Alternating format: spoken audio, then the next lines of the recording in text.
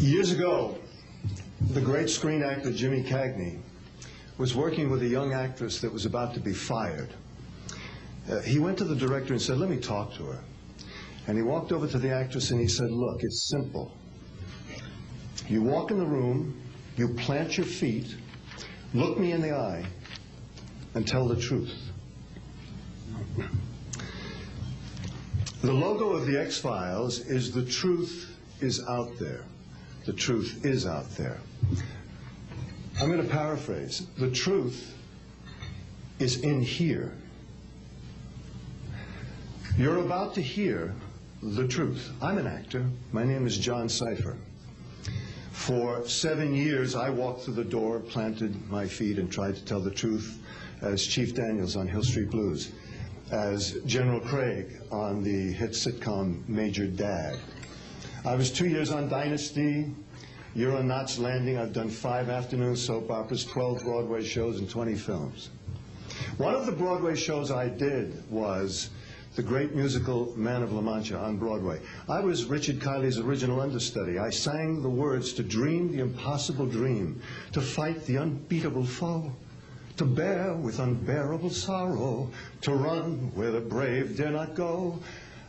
I'm here to introduce your host this morning, Dr. Steven Greer. He's a man who is running pell-mell where the brave dare not go.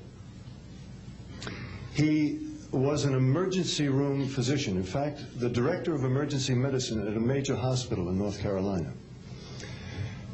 Three years ago, he sat his wife and his four daughters down and said, I've been doing this part-time, running after the truth, for seven years now. Now I'm going to do it full-time. He walked away from all that money to pursue the truth. I always think of Hamlet's great line to Horatio, there are more things between heaven and hell than are dreamed of in your philosophy, Horatio.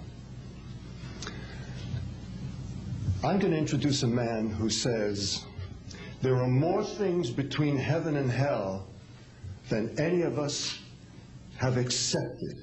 And I have the witnesses and the documents to prove it. Ladies and gentlemen, Dr. Steven Greer.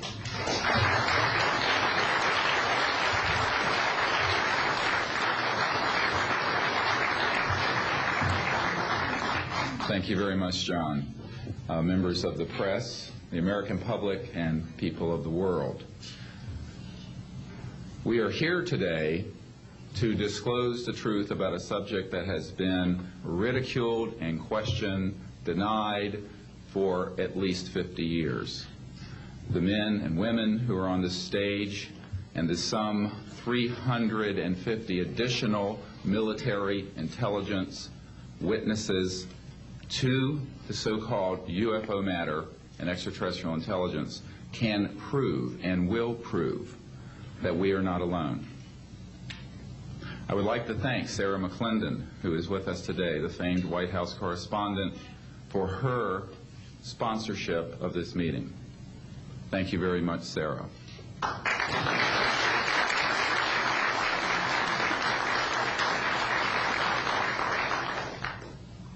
In 1993, a group of uh, military advisors to this project and I met out in the countryside in Virginia.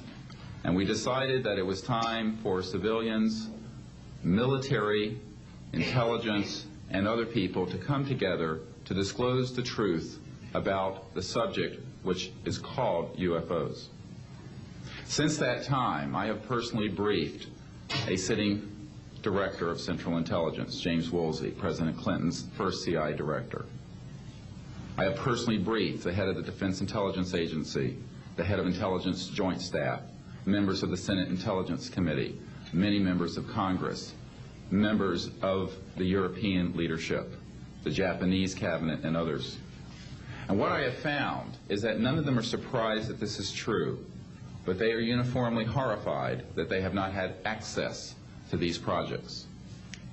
We can establish through these witnesses whom we have identified, which now number over 400, and these are people who have been inside the CIA, NSA, NRO, Air Force, Navy, Marines, Army, all divisions of the intelligence and military community, as well as corporate witnesses, contractors to the government. And these are folks who have been involved in so-called black budget or covert unacknowledged projects. These unacknowledged special access projects are taking in at least 40 to 80 billion dollars per year. And they are sitting on technologies that can change the world forever. The reason we are coming forward now is that we are asking for the U.S. Congress and for President Bush to move towards an official inquiry and disclosure on this subject. It has the most profound implications for the human future, for the U.S. national security, and for world peace. Specifically, technologies connected to UFO and extraterrestrial vehicles, if declassified and used for peaceful energy generation and propulsion, would solve the looming energy crisis definitively, would end global warming, would correct the environmental challenges that the Earth is facing. It is also critical that we begin to debate as a society the propriety of placing weapons in space. If indeed, as we can prove, it is true that we are not alone and that space is territory which we are sharing with other civilizations, it could be a very imprudent, destabilizing thing to place weapons in space. This is not being debated because it is off the national and international radar screens. It needs to be placed on it, and we are here today to do it. We can establish through this testimony that these objects of extraterrestrial origin have been tracked on radar going thousands of miles per hour, stopping and making right-hand turns. That they use anti-gravity propulsion systems, which we have already figured out how they work in classified projects in the United States, Great Britain, and elsewhere. That these objects have landed on terra firma, at times have been disabled, and have been retrieved specifically by teams within the United States that extraterrestrial life forms have been retrieved and their vehicles have been taken and studied thoroughly for at least 50 years. We can prove through the testimony and documents that we will be presenting that this subject has been hidden from members of Congress and at least two administrations that we are aware of, presidential administrations and that the Constitution of the United States has been subverted by the growing power of these classified projects, and that this is a danger to the national security. There is no evidence, I wish to emphasize, that these life forms from elsewhere are hostile towards us. But there is a great deal of evidence that they are concerned with our hostility. There are times when they have neutralized or rendered inert the launch capabilities of intercontinental ballistic missiles. Witnesses here today will describe those events to you. They have shown clearly that they do not want us to weaponize space, and yet we are proceeding down that dangerous path. And it will be established that these projects, because they have not been supervised properly by the Congress, by the U.S. President, by the international community, have become a threat to the national security. And for this reason, we feel we must disclose the facts. This is the beginning of the campaign for disclosure. And in a memo that I wrote to President Bush last week, I've stated that this campaign will persist until our goals are met, and they are as follows that we have open, honest hearings on the subject in the U.S. Congress, that there be a permanent ban on the weaponization of space or the targeting of any objects of extraterrestrial origin, that there be a full and complete study of classified technologies connected to this subject to see how they could be properly declassified and applied for peaceful energy generation so that the world may get off of fossil fuels in enough time to prevent greater ecosystem damage or war over the looming energy crisis, which is sure to sweep the Earth in the coming decade. This is a matter of the most pressing import. It has been ridiculed, yes. I know many in the media would like to talk about little green men. But in reality, the subject is laughed at because it is so serious. I have had grown man, men weep who are in the Pentagon, who are members of Congress, and who have said to me, what are we going to do? Here's what we will do. We will see that this matter is properly disclosed, and these courageous witnesses, the first 21 of over 100 that we have already interviewed on videotape, have stepped forward to speak the truth. Now, I expect people to be skeptical, but not irrationally so, because these men and women have come forward and they have their credentials, they can establish who they are, and they have been first-hand witnesses to some of the most important events in the history of the human race. As was pointed out to me by some of the men here, they were charged with handling the nuclear weapons of the United States. Their word was trusted on everything of great importance for the national security. We must trust their word now.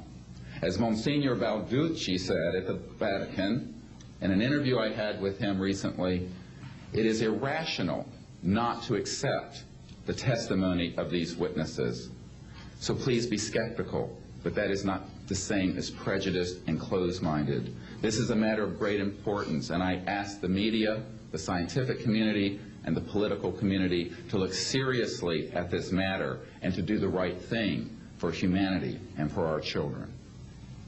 We have available for the media and for members of Congress a nearly 500-page briefing document with transcripts from dozens of these top-secret witnesses. We have a four-hour videotape summary. It's not a commercial product, I'll warn you, from this project of the 120 hours that we have in interviews so far. They've been boiled down to four hours, and it's available for the Congress to review and for the major media to review. We can establish that this subject is real and has tremendous significance for the human future.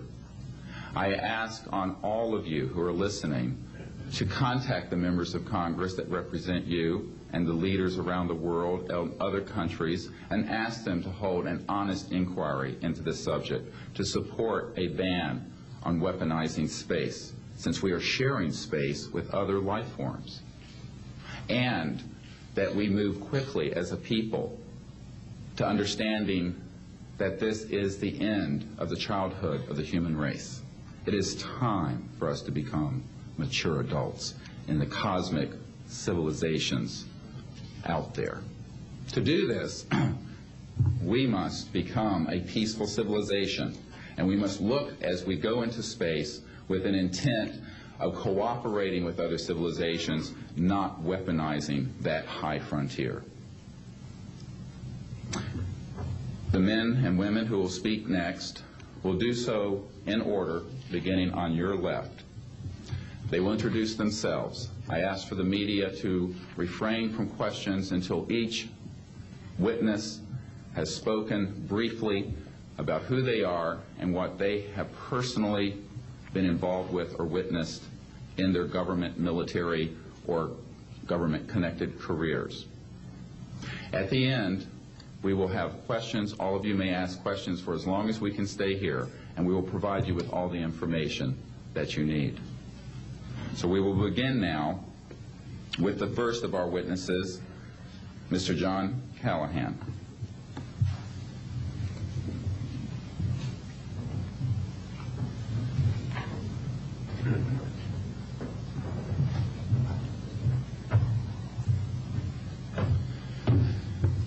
Name is John Callahan. I'm a retired FAA employee. I was the division manager for the Accidents Evaluation and Investigation Division in D.C. About two years before I retired, I received a call from Alaska region where the uh, region wanted to know what to tell the media. When I questioned, tell the media what, he says about the UFO and It went downhill from there. What UFO? It turned out I told him what any government employee would do at that uh, time was to tell him it's uh, under investigation. And then I had him send all that data to the FAA's tech center in uh, Atlantic City. The next day, my uh, immediate boss, service director, Harvey Safeer, and I went to Atlantic City. I just purchased a, uh, a new video camera, and I videoed the, uh, the event. And in Atlantic City, we had them play back on a, uh, uh, on a scope, you would call it a scope, a plan view display, PVD, exactly what the pilot uh, uh, seen or what the controller seen, and we uh, tied it in with the voice uh, tape so we could hear exactly what the controller said and what he heard, and we taped it. We came back the next day, uh, briefed the administrator, Admiral Engen, on what happened. He wanted a five-minute briefing. After we started the briefing, he wanted to know if he could see the video. We put the video on. He watched the video, the whole video.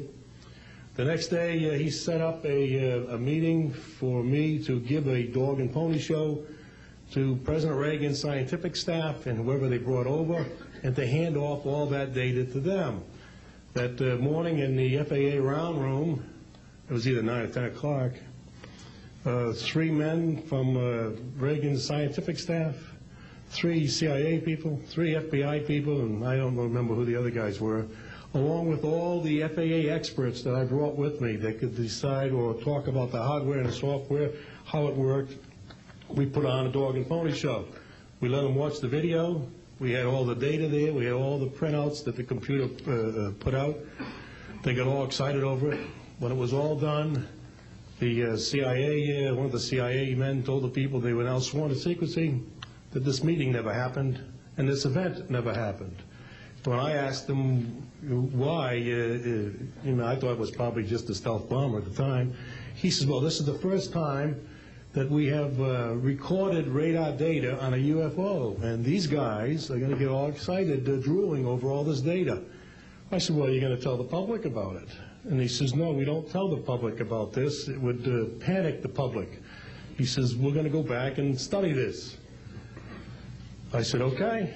Uh, it was what he was going to do. Now, I've told this story many times, and I get sometimes funny looks from people.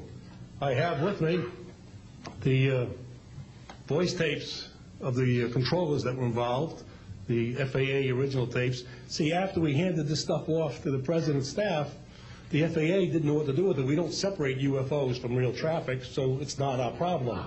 Okay? I have a copy of the original of the uh, video that we took, which is rather interesting. And once, once the thing was all over, the reports started coming into my office, but because it wasn't an FAA air traffic problem, the FAA's report ended up on a table in my office. And it stayed there until I retired when one of the staffers packed up all my gear and helped it move to my house. Also, in a box I found just a few days ago, in my 1992 tax return, I have the target printouts from the uh, computer data, which so if you wanted to or, or, or look at every target that was up there at the time, you can now reproduce this from this piece of paper here. And it's called the UFO incident, uh, Japan 1648, I believe the number was, it happened on November the 18th, 1986. Uh, I'm prepared to go to Congress, to swear before Congress that everything I've told you people and everything that is here is the truth. Thank you.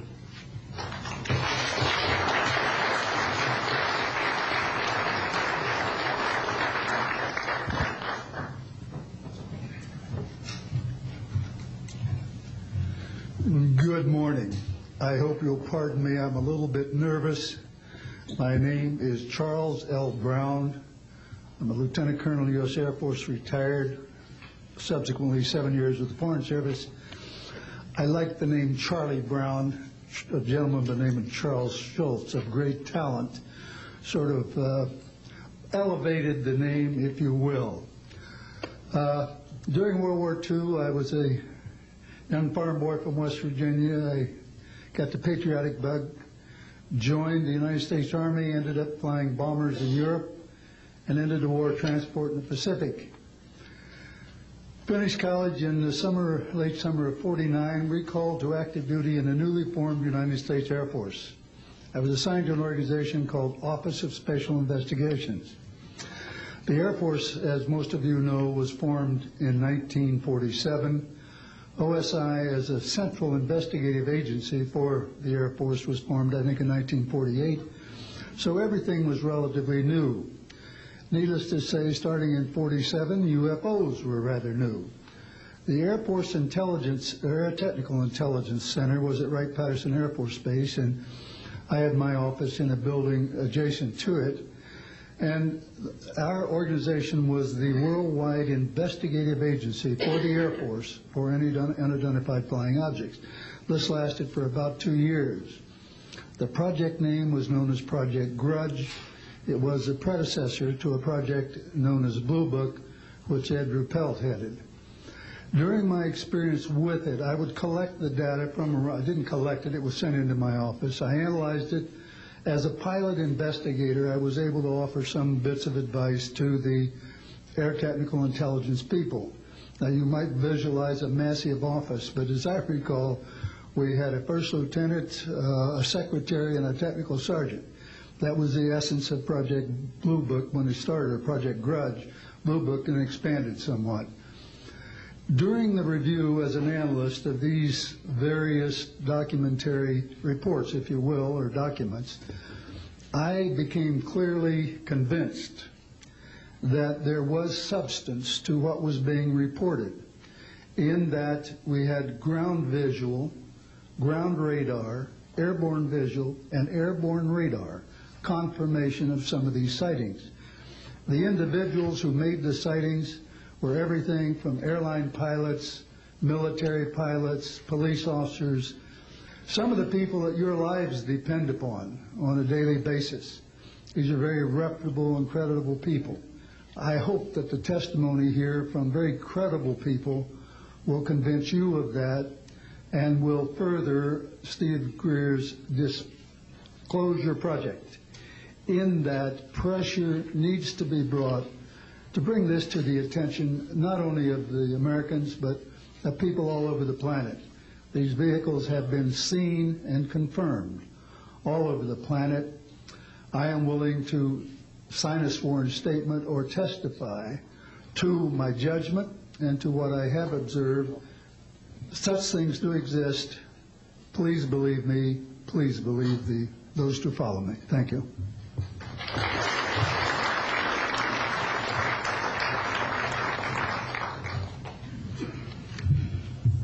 My name is Michael Smith. I was in the Air Force, a sergeant from 1967 to 1973. Uh, I was aircraft control and warning operator. While I was assigned to Klamath Falls, Oregon, in early 1970, arrived at the radar site and they were watching a UFO on a radar that was hovering at about 80,000 feet. It sat there for about 10 minutes and then slowly descended uh, until it dropped off the radar. It was gone for about five, 10 minutes, and then instantly reappeared at 80,000 feet, stationary. The next sweep of the radar, it was 200 miles away, stationary. It hovered there for about 10 minutes and redid the whole cycle twice more.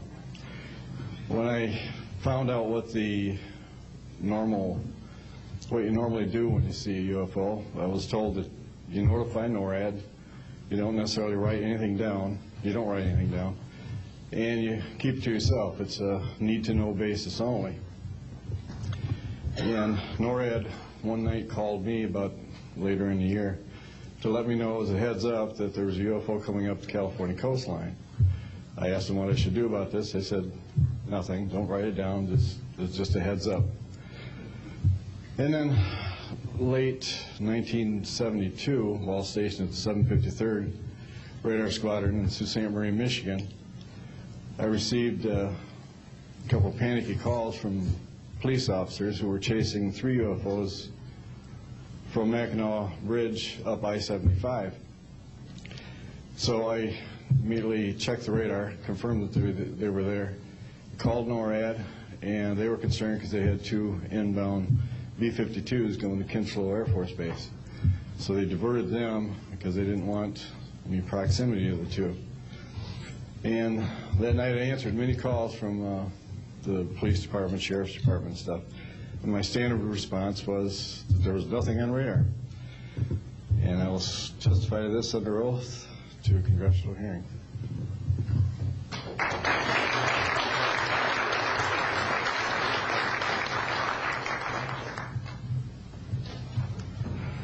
Good morning. My name is Enrique Kolbeck. I am a traffic controller. I'm sorry uh, for my English. I'm so scared. I'm not accustomed to talk in front of a lot of people. Um, I'm here because I'm uh, being a witness in a voluntary way uh, on my work. Uh, I work in Mexico City as radar controller and the International Airport of Mexico. And uh, I'm going to give an example about this uh, sinus that we have in Mexico for several uh, years, and this issue happens a lot of times on my country, unfortunately. Uh, For example, in March 4, 1992, we detected 15 objects uh, west side of the Toluca airport that is very close of our international airport at uh, 50 miles more or less. Then uh, uh, July 28 1994, we have an, uh, um, almost a collision or something that we can name in that way uh, with an international flight, I mean uh, domestic flight of Aeromexico 129, commanded by the uh, pilot uh, Raimundo Cervantes Ruano, that has a trash or something about in his main uh, landing gear in the right leg. Uh, that's occurred at night at uh, 10.30 more or less. Then in the next week, uh, the same year, in the same uh, moment, uh, the Aeromexico Fly 904 has another almost collision that was reported for the pilot Corso, the Capitan Corso, at 11.30 in the morning, and we detect that uh, object on a radar. Uh, um, suddenly, uh, just for a moment.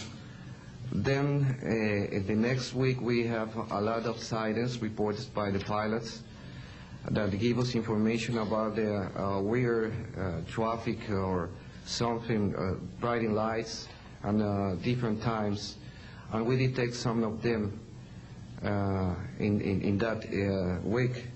But in September 15 of 1994, we have a detection about five hours, more or less, on a radar and a new equipment that we believe that uh, that equipment was uh, working in, in not a good way because uh, uh, it's not uh, human that you have um, detection by five hours of the same object and apparently without movement.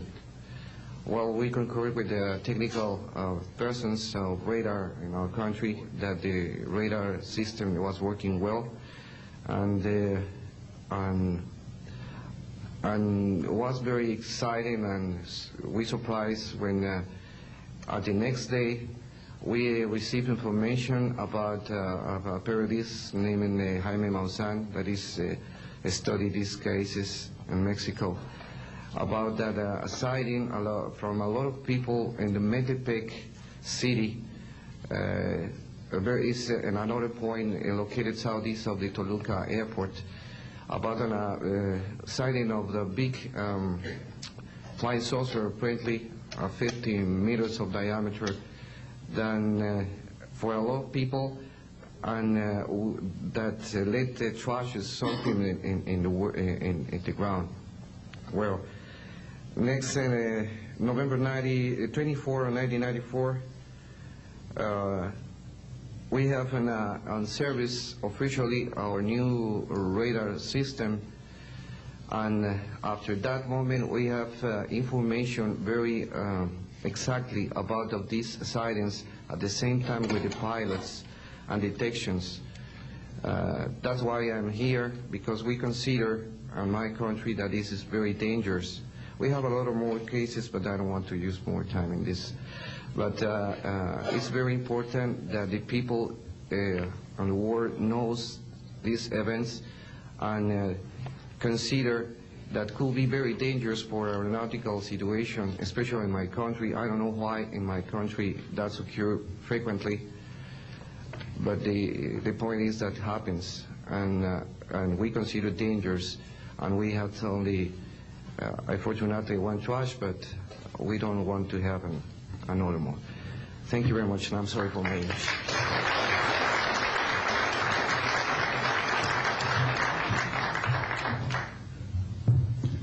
My name is Graham Bethune. I'm a retired Navy commander, pilot, had a top secret clearance. 50 years ago, February the 10th, 1951, I was flying from Keflavik, Iceland to Argentia, Newfoundland. It was at night. It was dark. About 300 miles outside of Argentia, I saw a glow on the water, like approaching the city at night. As we approached this glow, it turned to a monstrous circle of white lights on the water. We watched this for a while. The lights went out. There was nothing on the water. Next thing we saw was a yellow halo, small, much smaller than whatever it was launched from, and that was 15 miles away, up to our altitude. Because of the trajectory, I disengaged the autopilot, shoved the nose over to try to go under this thing. At that time, I heard a noise underneath. I thought maybe it hit us. It was actually some of the crew members ducking, and they collided, and a couple of them were injured. Then it appeared over to the right and moved out slowly and flew with us. It was still not at our altitude, but we could see the shape of it. It had a dome. We could see the we could see the coronal discharge.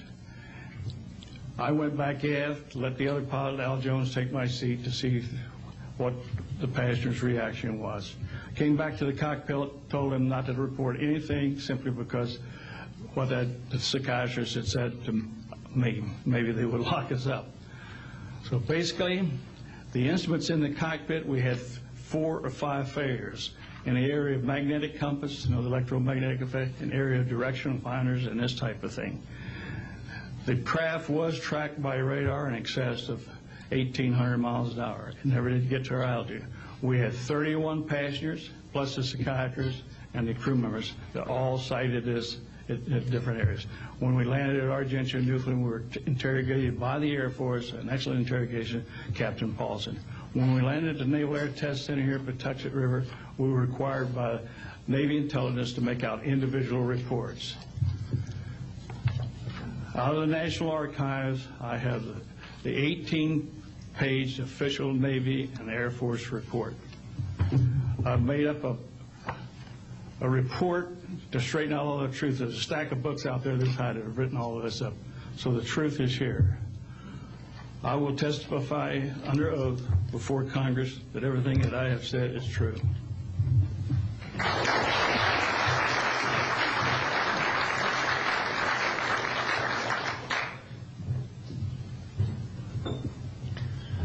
My name is Dan Willis.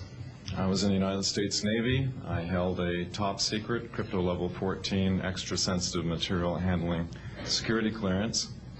I worked in the code room at the Naval Communication Station in San Francisco. In 1969, I received a priority message from a ship near Alaska that uh, was classified as secret. The ship reported uh, merging out of the ocean um, near Port Bow a brightly glowing uh, reddish orange elliptical object, approximately 70 feet in diameter, emerged out of the water, shot into space, uh, traveling at about 7,000 miles per hour. This was uh, tracked on ship's radar and substantiated. Uh, years later, I worked at the um, Naval Electronic Engineering Center in San Diego for 13 years. The um, co-worker who I worked with worked at the NORAD facility. When he first started working at the facility, he noticed objects going on the screens that track everything out in space and in the air, objects going off the scale, doing right angle turns. When he inquired, um, his older supervisor advised him that, uh, quote, it was just a visit from one of our little friends. I thought this was a little unusual. Uh, These statements are true and willing to testify under oath before Congress. Thank you.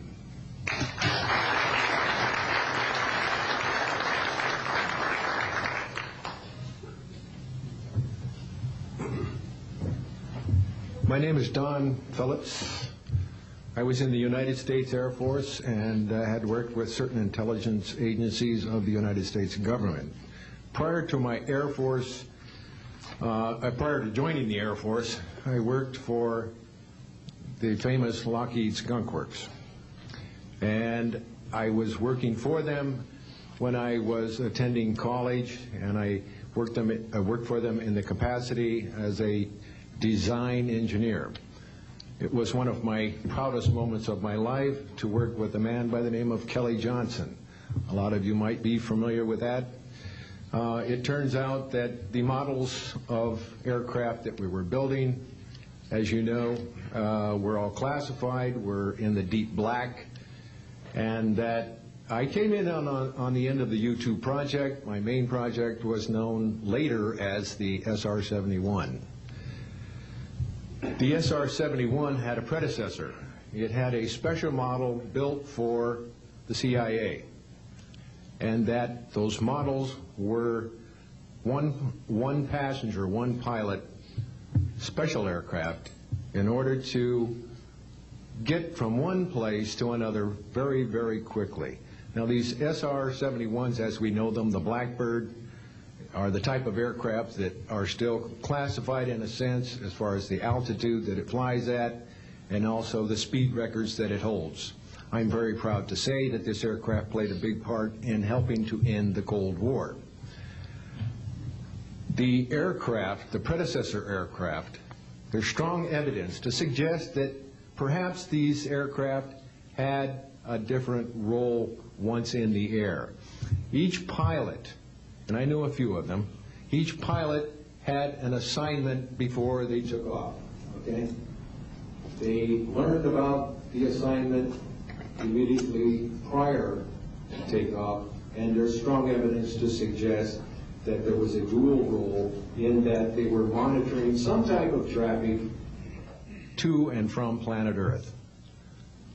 This can be verified at a later point this was, I'll jump into my military experience. My first field assignment for the United States Air Force was at Las Vegas Air Force Station. And that was my first experience with Las Vegas, and I couldn't understand why people were being so uh, excited about going to a place such as this, but I soon found out about a year later. Uh, Nellis Air Force Base is located there. Nellis is a major training center for different types of special aircraft and fighter aircraft one of the premier training sites for pilots all around the world.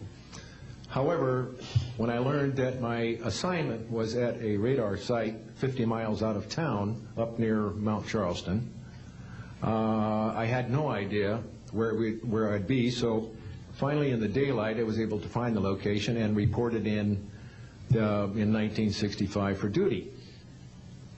In 1966,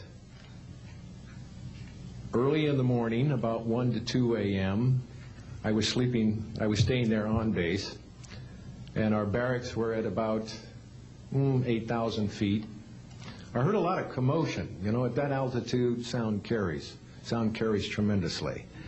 And I thought, well, it's early in the morning, it's summertime, and there is a lot, it's very warm, and maybe I should get up and take a look. I didn't really want to, but I got up and took a look, walked up to the main road up near my office, which was the commander's office. I was on the commander's staff, Lieutenant Colonel Charles Evans.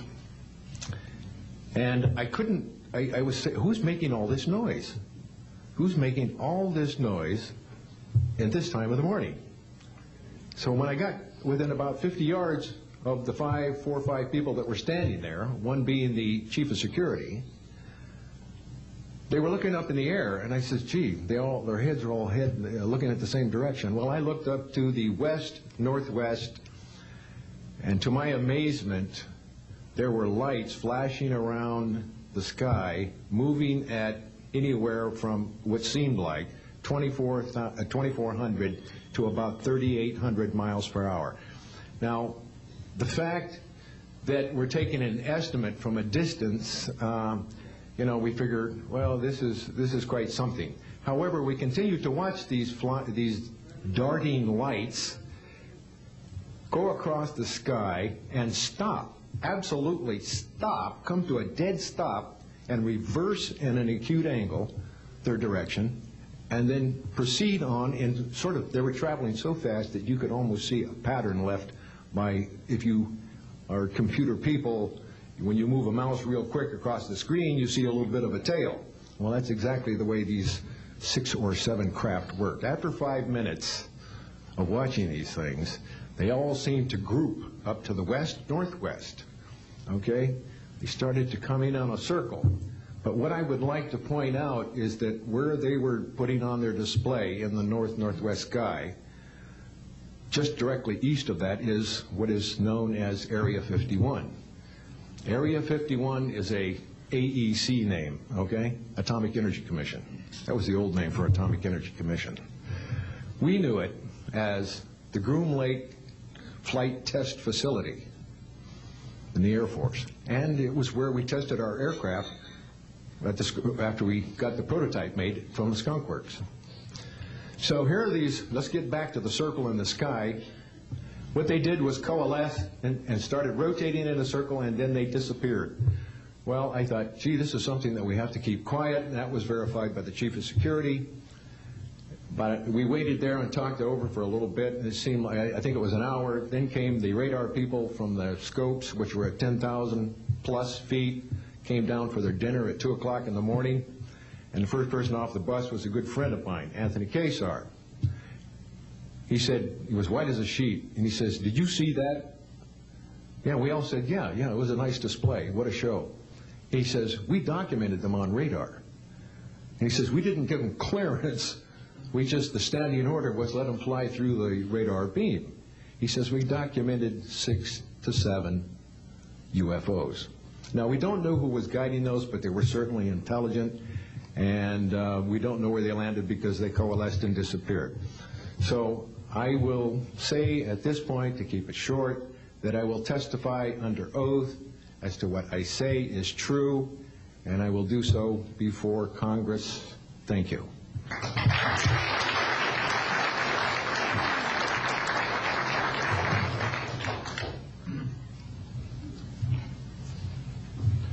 My name is Robert Salas. Uh, Contrary to what it says on the card, I was not a lieutenant colonel in the Air Force. I was in the Air Force uh, active duty after I graduated from the Air Force Academy in 1964 until 1971 and separated as a captain. In uh, uh, March of 1967, I was stationed at Malmstrom Air Force Base, Montana, uh, as a missile launch officer, Minuteman missiles. Uh, on an early morning of uh, March 16, 1967, I got a call from my security guard, primary security guard upstairs. Uh, We had about uh, six, as I recall, flight security airmen upstairs. I was downstairs 60 feet underground in a capsule, monitoring and controlling 10 uh, nuclear-tipped Minuteman missiles. Uh, I got a call that morning uh, that they were seeing strange lights flying in the sky. Uh, I disregarded that call, told them to call me when something more significant happened. Um, I got another call subsequent to that call, and this time it was a more intense tone in the in the guard's voice. It was very clearly very frightened. Um, He said there was a a bright, glowing red object hovering outside the front gate. It was oval-shaped. Um, He had all the other guards out there with their weapons drawn. Right after that call, I woke up my commander, who was on a rest period, uh, uh, Fred Meiwald, a retired colonel now, uh, and told him about the phone calls. As I was telling him about the phone calls, my weapons started going down, one after the other. They went into a no-go condition, what we call no-go condition. They were unlaunchable. Um, we lost uh, somewhere between uh, six and eight weapons that morning. Uh, Within minutes of having received that second phone call of a UFO hovering outside the front gate. Uh, Again, that morning, after reporting it to the command post, we we were informed that a similar, very similar incident happened at Echo Flight. Uh, I was at Oscar Flight. Uh, They lost all 10 of their weapons in- under similar circumstances, very similar circumstances, where UFOs were sighted over the launch facilities. Uh, They had, they had maintenance crews and security crews out there that had spent the night, and they were reporting UFOs over those sites. And the commander of, of that flight was uh, Eric Carlson. Uh, He's, he uh, also separated as a captain, and the deputy commander was uh, Walt uh, Figel. Uh, retired as a lieutenant colonel.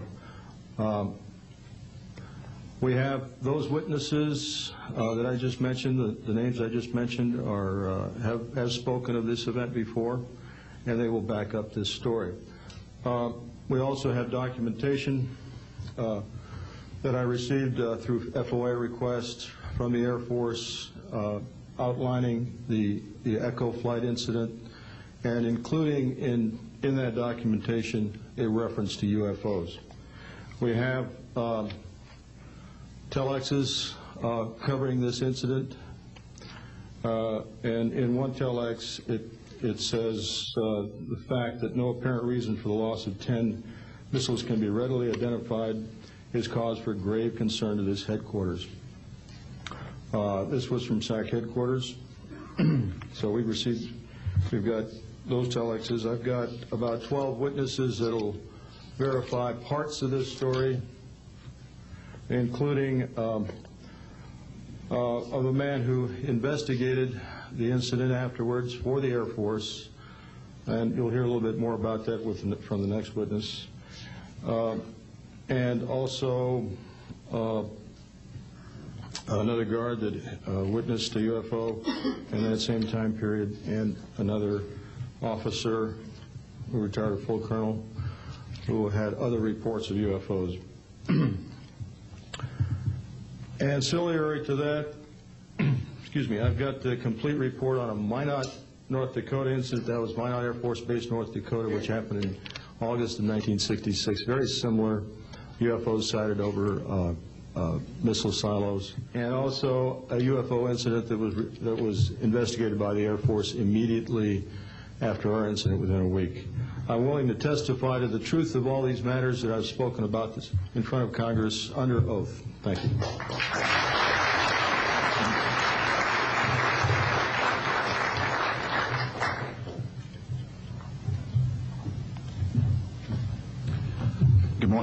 My name is Dwynne Arneson.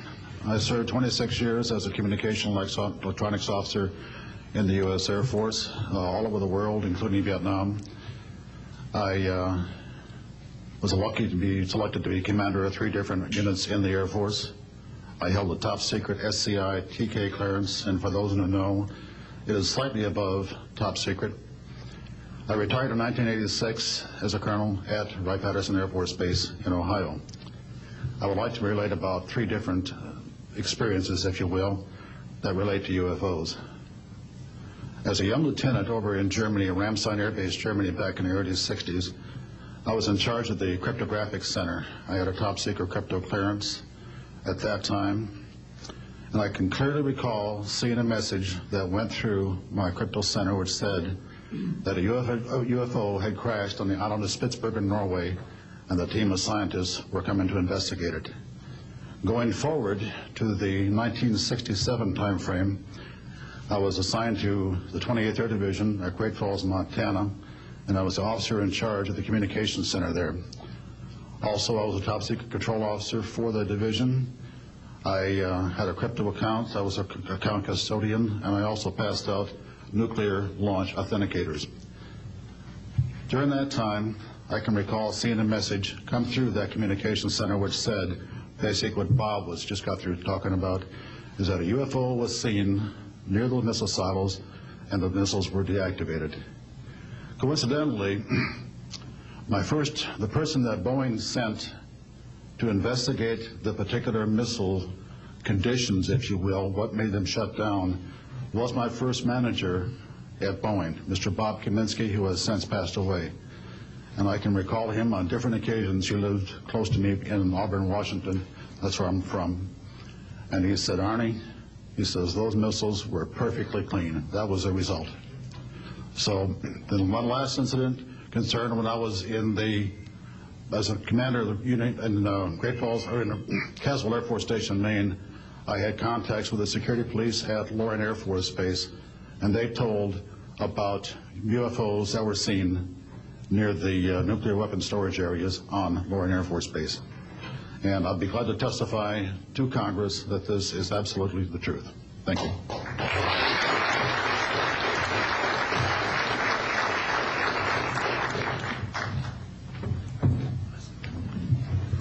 Good morning. My name is Harlan Bentley.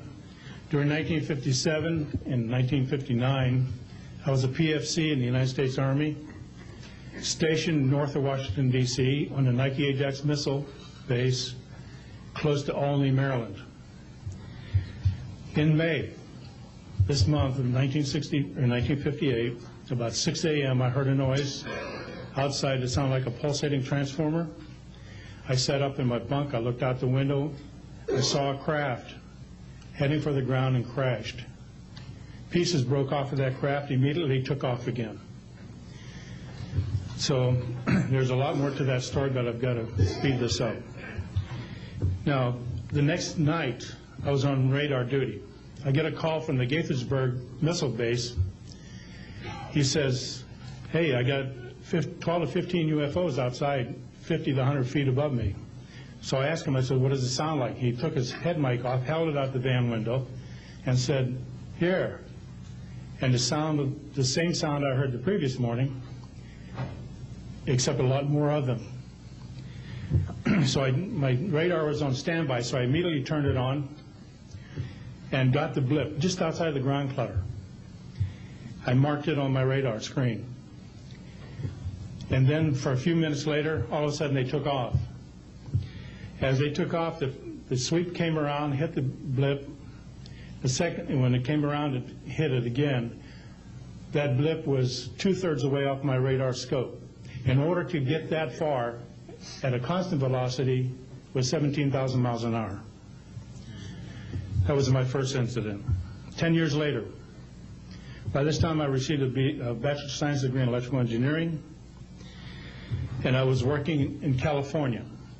Now, I'm sorry that all I can say is I was somewhere in California working on a classified project that had nothing to do with my experience that I had there. As I was working, and it was like 2 or 3 in the morning, California time, I heard a Houston astronaut communication link, comlink. I didn't pay much attention to it until I heard the word bogey. Of course, my ears picked up immediately. An unidentified flying object of some sort, whether it's a craft, meteorite, or whatever, was on a collision course with that module going to loop around the moon. so basically, I listened for some time, and then I stopped and went back to work. And then I heard, there they go. In the astronaut world, for some of you may or may not know this, there's a term called green turtle. And it used to be, I don't know if it is today or not, but it used to be is you're not allowed to use profanity over the net. And the first person that does that, whoever hears it first and says green turtle, that astronaut's got to buy that man and his entire family a dinner at the most expensive place at Cape Canaveral. Well, to end this real quick, one of them said, damn. They went off, the, the, the UFOs took off. He says, damn, that's fast. And somebody yelled, green turtle. And then he said another word, a synonym to crap. And then somebody else yelled, green turtle. And you could see him grit his teeth because now he had to buy two expensive meals. And my particular experience, I will testify before Congress if necessary and explain exactly what happened. Thank you.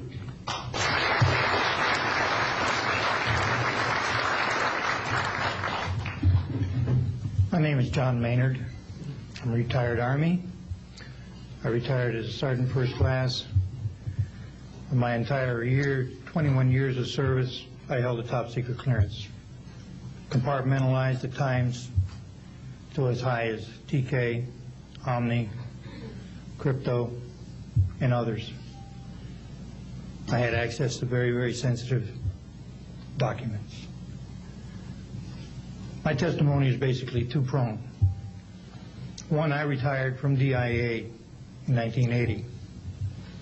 And when as an administrator, you take over an office, you take over everything and you sign for everything. And I signed for well over 2,000 documents. In order to sign and inventory of those things, you have to read them.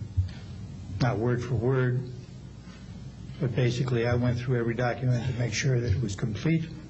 It was there, as they told me, that when I turned my charge over to the next person, those same documents were there. So I got quite a good knowledge of what was going on in those documents, and believe me, there are many, many different references to UFOs.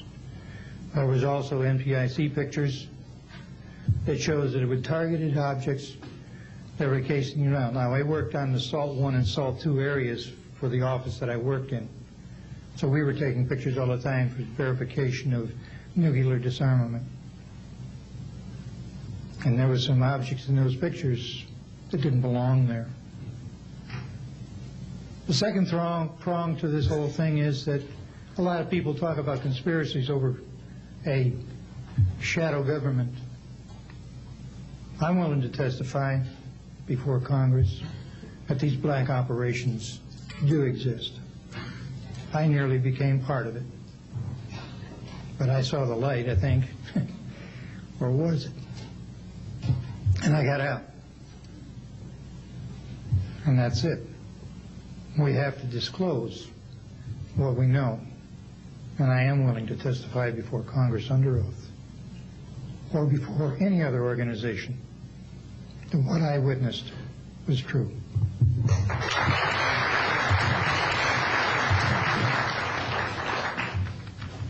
Good morning. My name is Karl Wolfe, and I was a precision electronics photographic repairman with a top secret crypto clearance in the United States Air Force.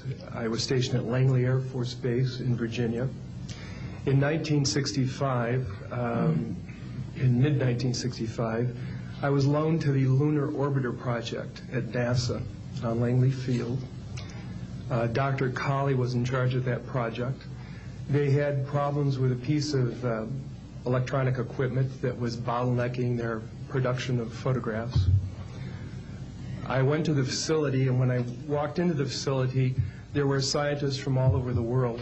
I was stunned actually to see people at a NASA project uh, from all over the world. It didn't make any sense to me initially. Um, I was taken into the laboratory where the equipment was malfunctioning. I couldn't repair it in the dark. I asked to have it removed. A uh, airman second class was in the dark room at that time. I was also an airman second class. Um, I was interested in how the whole process functioned, how the data got from the lunar orbiter to the laboratory. Asked the young man if he described the process to me. He did. About 30 minutes into the process, he said to me, um, in a very distressed way, um, by the way, we've discovered a base on the backside of the moon. And then he proceeded to put photographs down in front of me, and clearly in these photographs were structures, uh, mushroom-shaped buildings, spherical buildings, and towers. And at, at that point, I was very concerned because I knew we were working on compartmentalized security. He had breached security, and I was actually frightened at that moment and I did not question him any further. And a few moments later, someone did come into the room. Um, I worked there for three more days, and I remember going home and naively thinking, I can't wait to hear about this on the evening news. And here it is, more than 30 years later, and I hope we hear about it tonight. And I will testify under oath before Congress that what I'm saying is the truth.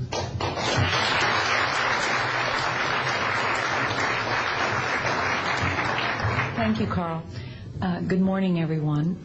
My name is Donna Hare, and I worked at Philco Ford Aerospace for, from 1967 to 1981. During that time, I was a design illustrator, draftsman. Uh, I did the launch slides and landing slides, and also projecting plotting boards, lunar maps for NASA. We were a contractor, but at most of the time, I worked on site, excuse me, in Building 8. I had the opportunity to do extra work during downtime, which was between missions, and I walked into a photo lab, which was the NASA lab across the hallway. I had a secret clearance, which is not that high, but I was able to go into restricted areas, which this was. Uh, At the time, I was talking to one of the techs in there, and he drew my attention to a photograph, that, a NASA photograph. It had a dot on it, and I said, what is that? Well, he drew my attention to it, and, and I said, is that a, a dot on the emulsion? And he said, and he's smiling, and he has his hands crossed, and he said, uh, round dots on the emulsion don't leave round shadows on the ground. And this was an aerial photograph of the Earth, I'm assuming the Earth, because it had pine trees on it, and the shadows of the craft, or whatever it was, were in the same angle as the trees. And by its very nature, UFO, and I wanted to clarify that to a gentleman that was talking to me, means unidentified. So I did not know what this was. But I realized at this point that it's very secret, that it was kept secret because I asked him, what are you going to do with this piece of information? And he said, we always airbrush these out before we sell them to the public. So they're pes- pesky little creatures uh, appearing on this uh, photograph they wanted to get rid of. Uh, After that, I decided I would ask questions to other people that worked there. And I found that I had to ask them away from the site and not on site. A guard told me that he was asked to burn some photographs and not to look at them. And there was a guard, another guard guarding him, who was in green fatigues, watching him burn the photographs. And he said he was too tempted. He looked at one, and it was a picture of a UFO. And he was very descriptive. I can go into that later with anyone. Uh, he immediately was hit in the head, and he had a big gash in his forehead. He was knocked out, and he's terrified. So he would have to be protected. Uh, another incident, I knew someone in quarantine with the Apollo astronauts. He told me that the Apollo astronauts saw craft on the moon when we landed. And that is what he told me. And he also was afraid, he said that the astronauts are told to keep this quiet. They're not allowed to talk about it. So I do want to let you know that I worked out there for a number of years, and this, I ran into this. So it's not something everyone knows that works out there for a long time. My boss didn't know about it. Uh, Some people that sat right next to me didn't know about it. It's, it's very strange because I don't know how they can do it, but they can let some people know about it and then others not. I'm willing to testify before Congress that what I'm saying is true, and uh, thank you very much.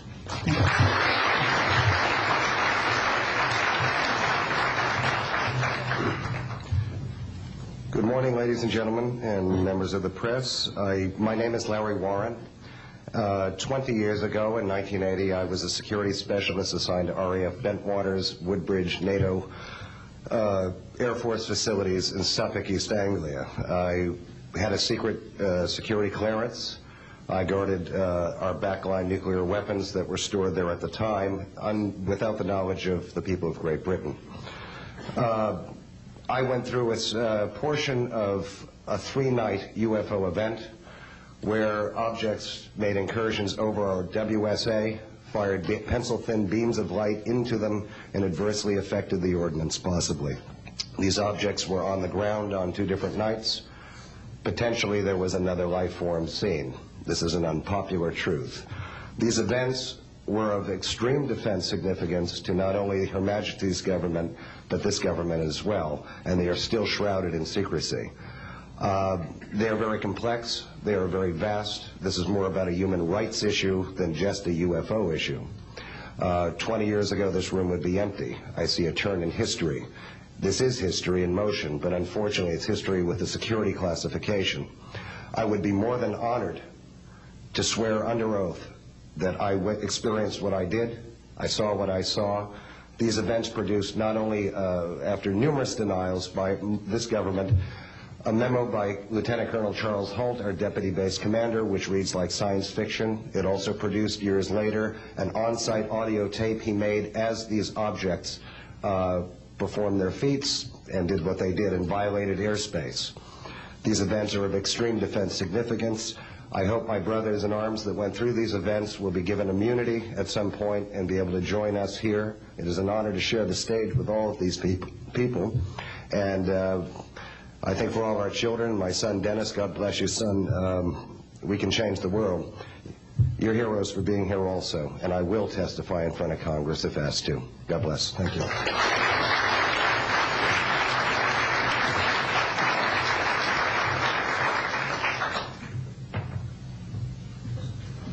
Hi, my name is uh, George Filer III. The reason I'm here is because uh, George Filer V is in the hangar and will be born on Friday. And, and uh, I'm a retired intelligence officer and flyer with almost 5,000 hours, and uh, I didn't believe in UFOs until London Control called us in the winter of 1962 and asked us, would we chase one? And we said, sure. So we let down from 30,000 feet to a 1,000 feet where the UFO was hovering, and we went into a steep dive and actually exceeded the um, red line of the aircraft. So it's kind of dangerous chasing UFOs.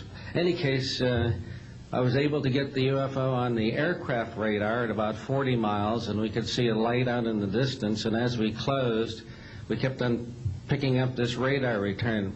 Point I'm mentioning that the radar return was very uh, distinct and uh, solid, indicating it was some kind of a metallic object. We got about a mile from the UFO, and it kind of lit up in the sky and went off into space, very similar to what the shuttle looks like when it takes off. Um, later on, I was working in intelligence in Vietnam. I briefed uh, General Brown about UFOs when I was in um, 21st Air Force, McGuire Air Force Base. Briefed General Glau about a UFO over Tehran, Iran in 1976 The two F-4s from the Iranian Air Force had taken off and tried to intercept the UFO. And when they turned on their fire control systems, they immediately went out. All the electrical systems went out. The planes had to return to base. This was particularly significant because it was also picked up on satellites. In 1978, on January 18th, I was going into the base. Every morning I did the uh, briefing to the general staff, and I noticed that uh, there are some lights off in the distance at the end of the runway there. And when I got into the command post, the um, senior master sergeant in charge said that there had been UFOs in the pattern all night. They're on radar. The tower had seen them. They gotten aircraft reports and so on. And that one had landed or crashed at um, Fort Dix. Fort Dix and McGuire are right together. And this is kind of like the Roswell of the East. But in any case, uh, an alien had come off the craft and had been shot by a military policeman and apparently was wounded and was heading for McGuire. So for whatever reason, the uh, aliens liked uh, the Air Force better than the Army, perhaps because they're shooting at them. But in any case, uh, our security police went out there and um, found him on the end of the runway dead. And uh, they asked me to brief the general staff, uh, General Tom Sadler, and um, at the 8 o'clock stand-up briefing, and I said, I don't think I want to do this. You know, the general doesn't have a good sense of humor, and I'm not sure I, I believe this. So I did some checking, called the 438th Command Post, and everybody had pretty much the same story. And uh, at 8 o'clock that morning, just before I went on, was going to brief this, and I was very wor- worried about it. They said, don't brief it, that it's too hot, so to speak. That's pretty much my story, and I'm prepared to tell the story in front of Congress, and uh, it is the truth. Now, because of this, I've stayed interested in UFOs, and I'm the Eastern Director of the Mutual UFO Network. And between the uh, National Reporting Center and Peter Davenport and the MUFON, we get 100 reports a week on average of people from all over the United States that see these things regularly. And if you start checking, they're out there and they're low, and people are seeing them all the time. And these are highly qualified people, all of whom essentially give us the reports by email. Thank you.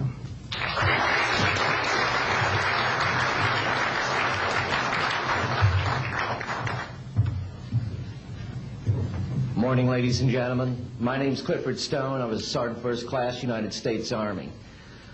I had a secret clearance with nuclear assurity. I could get the clearance that I needed to do whatever it was that was necessary for me to do at the time on special operations when I was called in on those.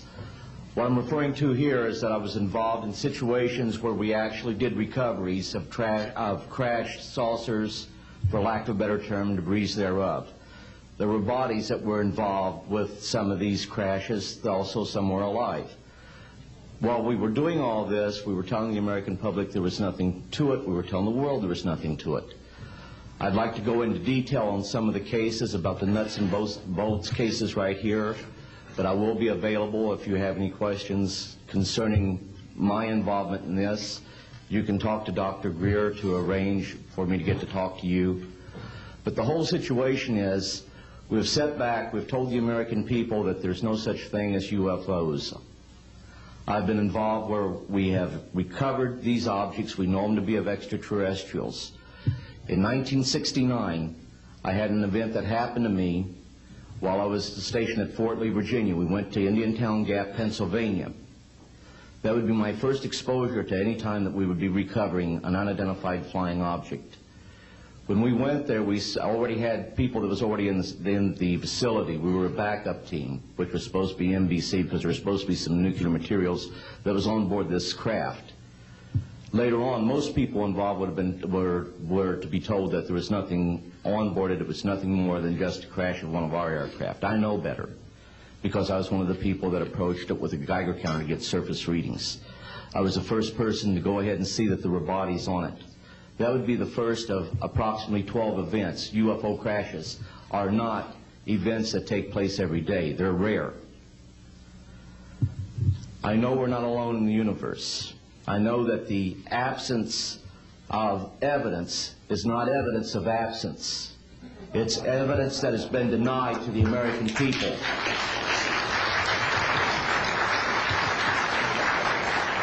I stand before you today in my almighty God, and I tell you this. If Congress calls me in and says, will you testify in detail what you know, I stand here today prepared and ready to do just that. Governments must never lie to the people for no reason. Thank you.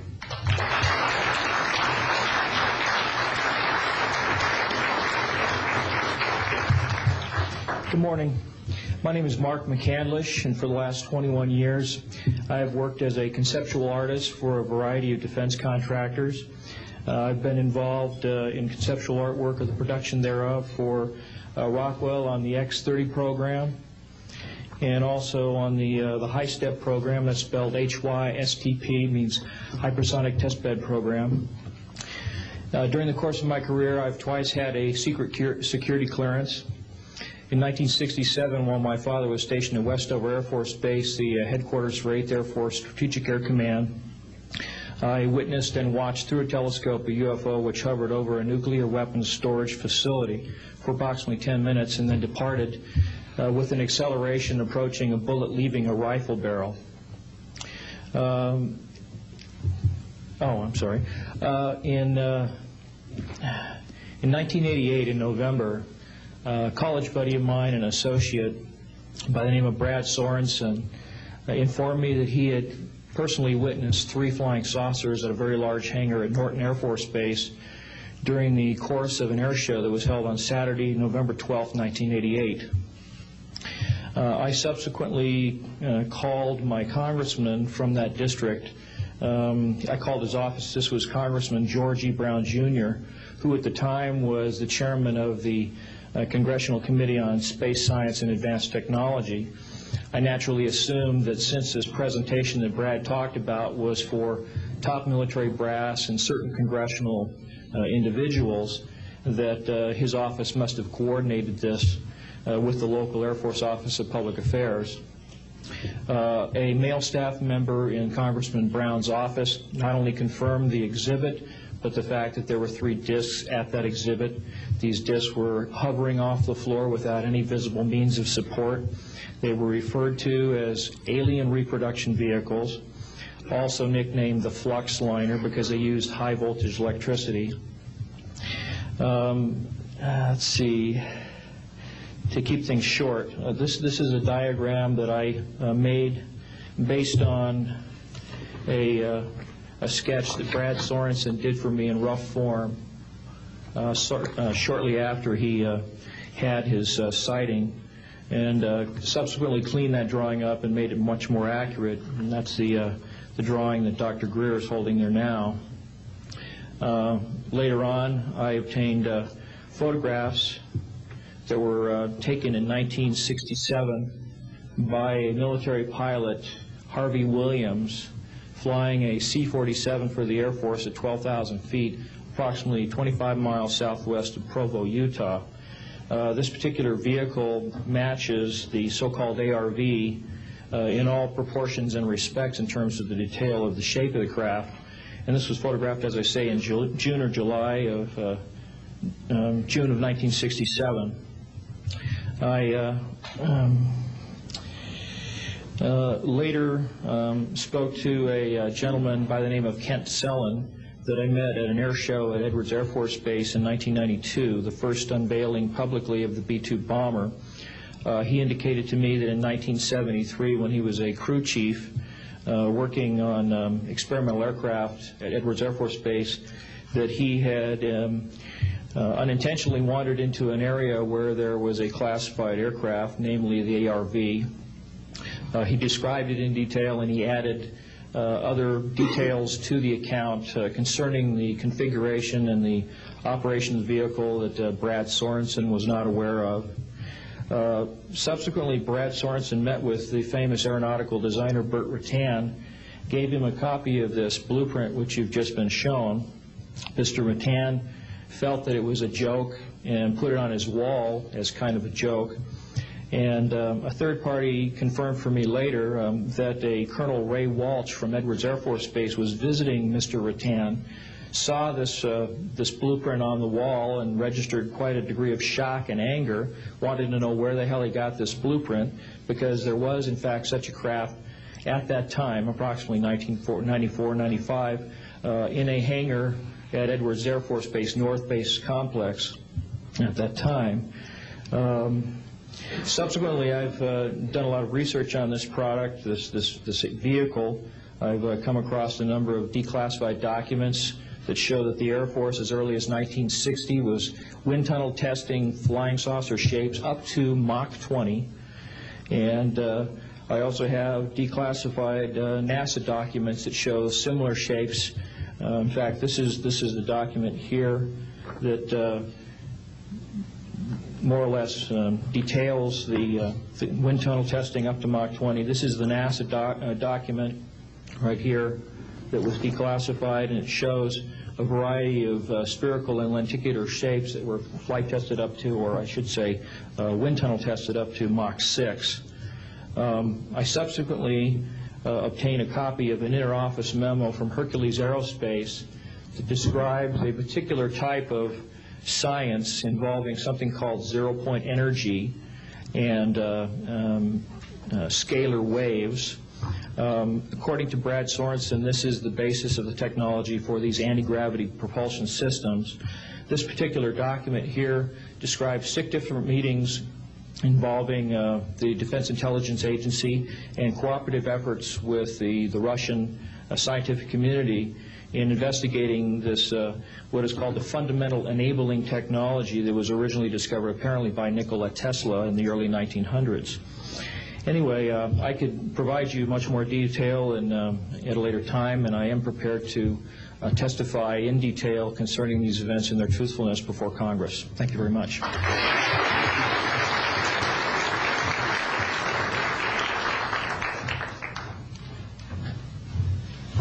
Morning. Uh, My name is Daniel Sheehan.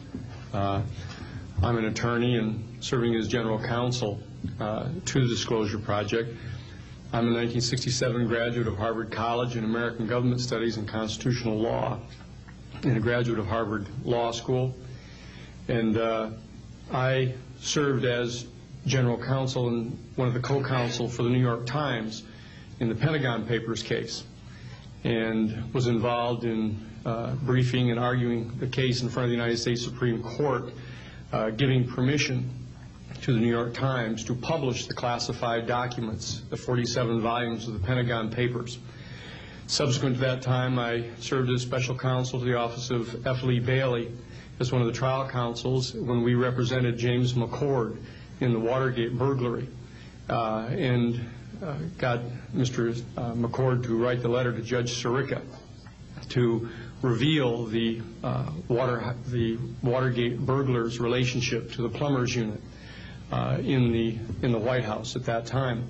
Subsequent to my service in that case, I went back to Harvard to the Divinity School to study Judeo-Christian social ethics and public policy. Did my master's work and PhD work there and became general counsel for the United States Jesuit headquarters in Washington, D.C., assigned to the National Social Ministries Office and their public policy office. It was there in 1967, that, or 1977, that I was contacted by Ms. Marcia Smith, who was the director of the Science and Technology Division of the Congressional Research Service. She uh, asked to meet with me, and I met with her, and she informed me that President Carter, uh, upon taking office in January of 1977, held a meeting with then the Director of Central Intelligence, who was George Bush Sr., and demanded that the Director of Central Intelligence turn over to the President the classified information about unidentified flying objects and the information that was in the possession of the United States intelligence community concerning the existence of extraterrestrial intelligence. This information was refused to the President of the United States by the Director of Central Intelligence, George Bush Sr. The Director insisted that the President, uh, in order to have access to this information, needed to have clearance to contact the Congressional Research Service, to contact the United States House of Representatives Science and Technology Division, to have them undertake a process to declassify this information. Because the DCI suspected that the President was preparing to reveal this information to the American public. The Congressional Research Service Science and Technology Division, under the directorship of Marcia Smith, was contacted by the House Science and Technology Committee and instructed to undertake a major investigation of the existence of extraterrestrial intelligence and the relationship of the UFO phenomenon to this. I was contacted by Ms. Smith and asked, in my capacity as general counsel to the United States Jesuit headquarters, uh, National Social Ministry Office, to see if we could obtain access to the Vatican Library to obtain the information that the Vatican had with regard to extraterrestrial intelligence and the phenomenon of the UFOs. Uh, I pursued that with the permission of Father William J. Davis, the director of the national office, and we were refused access uh, as the United States Jesuit order to the information in the possession of the Vatican Library. When I reported this to Ms. Smith, uh, she then later subsequently asked me to uh, participate in a project which I can go into some detail during the question and answer period or later to individuals, uh, pursuant to which uh, I was uh, given access to, as a special consultant to the United States Library of Congress Congressional Research Service, to the classified portions of the Blue Book project of the Air Force. At that point, it was in 1977, approximately uh, May of 1977, I went to the Madison building of the United States Library of Congress. There was no one in the building at that time. It was brand new. I was directed to a basement uh, office uh, where there were two uh, guards uh, at the door and a third uh, sitting at the table who took my identification, uh, verified that I've been designated as a special consultant to the Congressional Research Service of the United States Library of Congress, and was admitted to the room.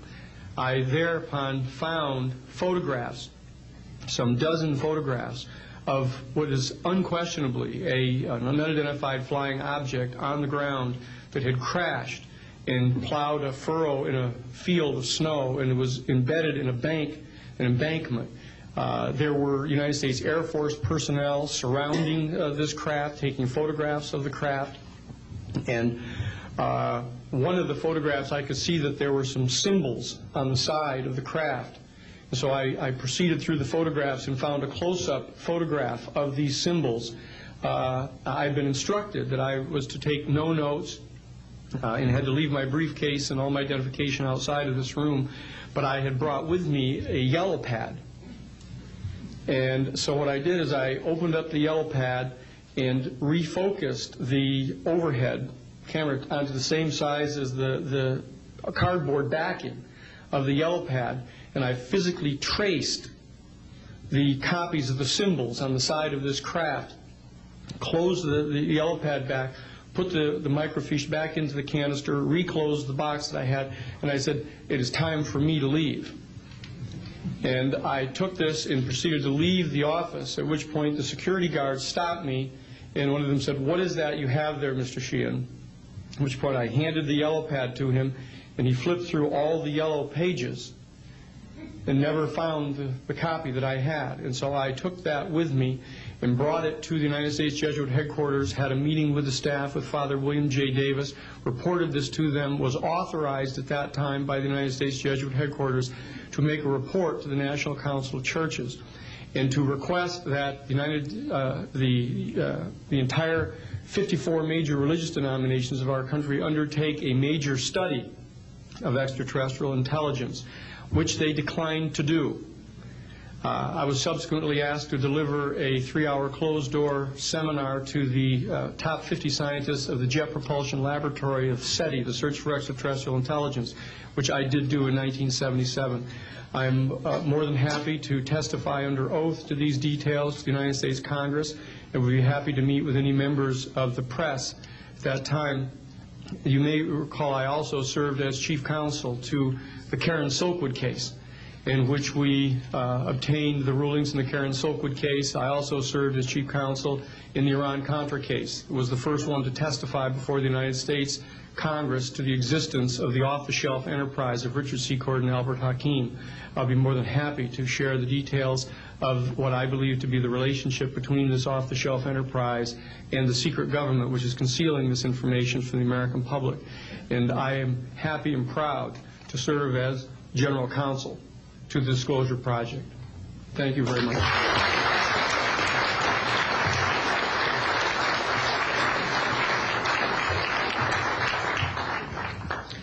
Good morning. My name is Carol Rosin. In 1974, after being a sixth grade school teacher, I was introduced to the late Dr. Wernher von Braun in the U.S., the father of rocketry.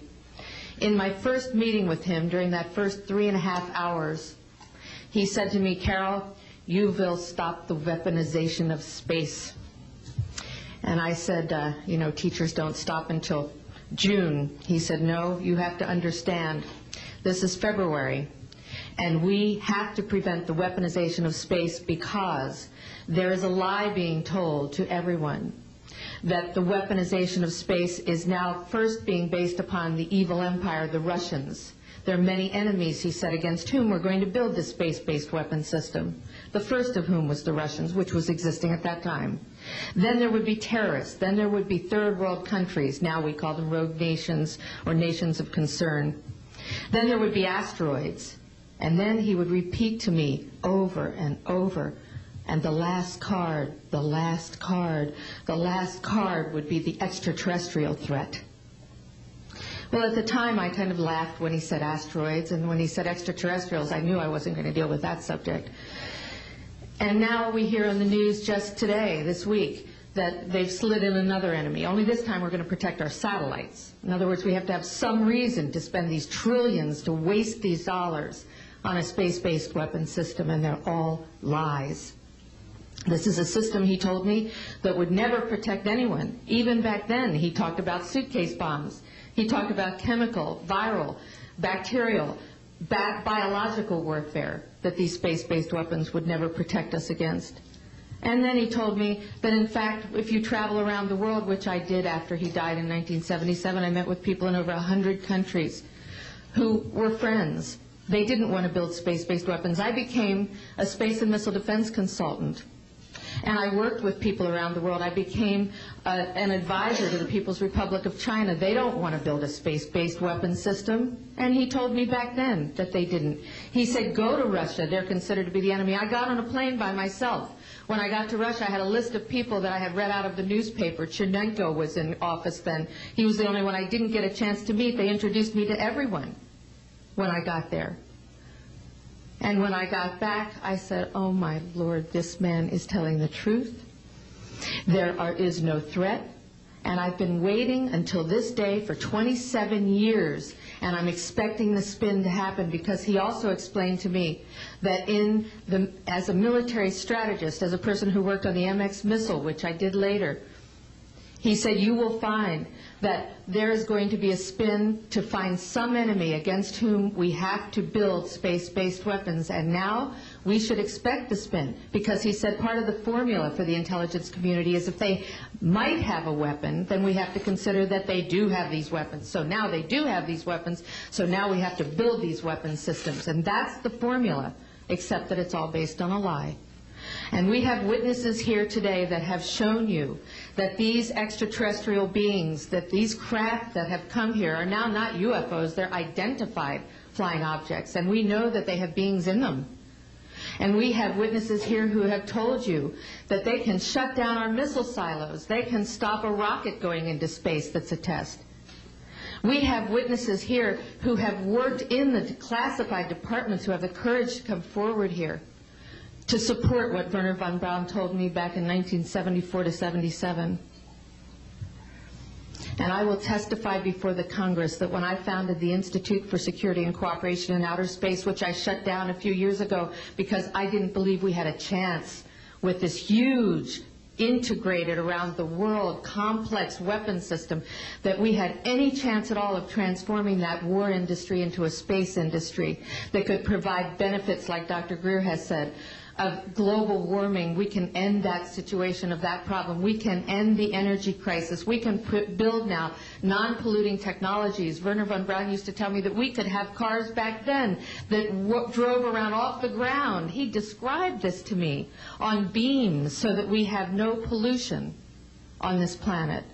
And we can solve the problems of the people that are urgent and potential and the other animals and the other cultures on Earth and in space and we can end the arms race without dislocating the industry jobs, without disrupting the economy, by transforming, Wernher von Braun told me, the war industry into a global cooperative space industry that will provide, he said, finally, more jobs and profits on this planet than during any hot or cold wartime, more products and services that can be applied directly to solving the problems of this planet and we can have a whole planet now that lives on in peace on Earth with all the cultures on Earth and with all the extraterrestrial cultures in space. And these are words that Wernher von Braun told me in 1974, and I will testify before the Congress under oath about everything I have said and more.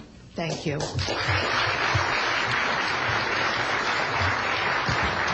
Thank you very much. I'd like to thank each of the witnesses and for your patience. We're running about uh, 50 minutes late, and I do apologize for that. I want to emphasize that all of these witnesses each could speak for probably anywhere from two to five hours about what they have witnessed. We were trying to give you a snapshot. We have another 400 of these witnesses. I have carried this burden for eight years. I'm now giving it to you, the American people and the people of the world, to take it forward. What I'd like to do now is open uh, the audience uh, for questions from the media. Uh, You may address them to me or to an individual witness as as you deem appropriate. Yes, ma'am. Yes, Maribel Gonzalez with Reforma Mexican newspaper. I have three questions. One is, if you, if... No, right here. Yes, I wanted to know if, if there are laws in this country that in some way allowed this kind of secrecy or not. And then I wanted to know if there's a, a need to change any kind of law.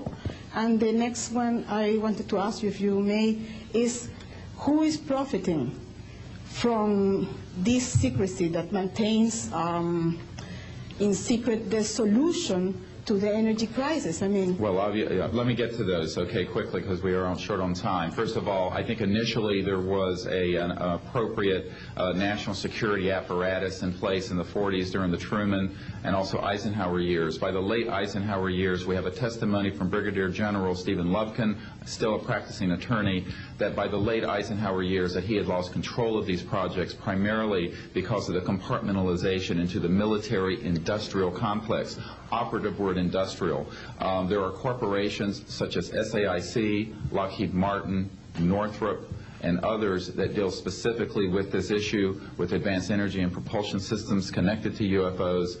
And I think that what has happened, from, from the best we can tell, uh, from insiders that have briefed me for now about eight years, is that we have lost control of these projects from a constitutional law perspective because the infrastructure within military intelligence and corporate channels is so well funded and so complex and labyrinthine that there are compartments within compartments within compartments. And people who are in the Congress who make inquiries, and in fact, President Clinton, when he made inquiries, were simply denied access, as you heard earlier that President Carter was denied access.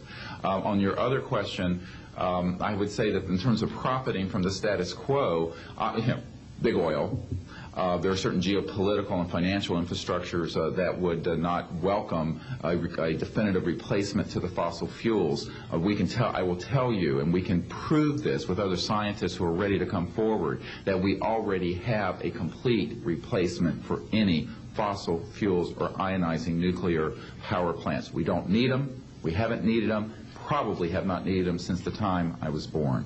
Now, of course, this is a major issue. You're talking a multi-trillion dollar global infrastructure change. Uh, and so this does hit the alarm bells at the National Security Council economics uh, area. Uh, however, what is more serious to the national security? Keeping the status quo or letting ourselves go into a global ecosystem collapse and running out of fossil fuels and having massive rolling blackouts, not just in California, but globally.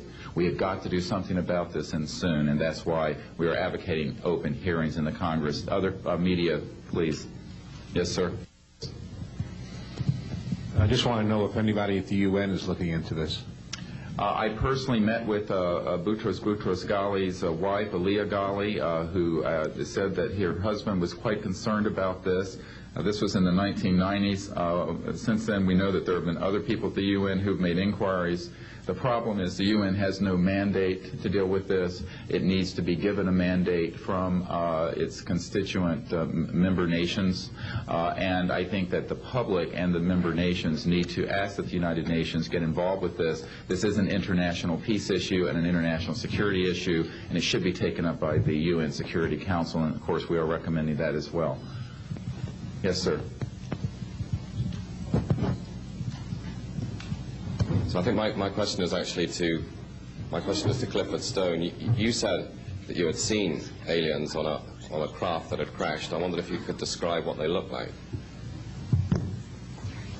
I could. I could, but it would probably take a whole lot of time. The reason I state that, when I got out in 1989, we had cataloged 57 different species. Uh, you have individuals that look very much like you and myself that could walk among, among us and you wouldn't even notice the difference, except for some of the things that uh, they might be able to go ahead, even in a dark room, and touch an object and go, go ahead and identify what color that object might be. They would have a heightened sense of smell, sight, uh, hearing. Uh, the uh, situation is that you have various types of what we normally call grays. We didn't call them grays in the military, but you had at least three types of the grays. You had some that were much taller than we were.